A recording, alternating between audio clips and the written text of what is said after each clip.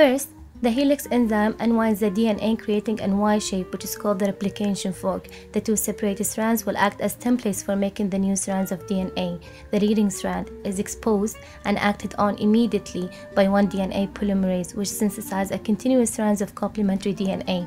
The other strand is called the lagging strand which is not immediately acted on by DNA polymerase. Instead, it is pulled out a single-stranded DNA that is rapidly bound by single-stranded proteins. A sliding clamp is assembled at this point and a second DNA polymerase enzyme initiates lagging strand synthesis. As one lagging strand's DNA polymerase synthesizes an Okazaki fragment, additional single-stranded DNA is generated by the helicase and a new RNA primer is synthesized on this template.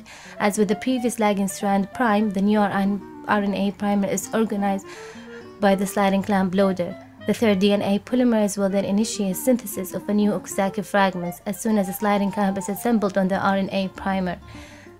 Finally, DNA ligase it seals up the sequence DNA into two continuous double strands. The result of DNA replication is two DNA molecules consisting of an one old and one new chain of nucleotide.